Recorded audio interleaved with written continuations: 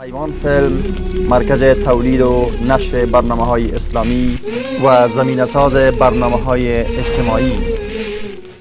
رسول ما صلی الله علیه و سلم می فرماید که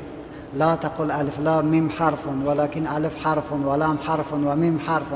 هیچ ملا در دنیا امی الف لا الف لا میم نمی‌فهمه که معنایش چی داره.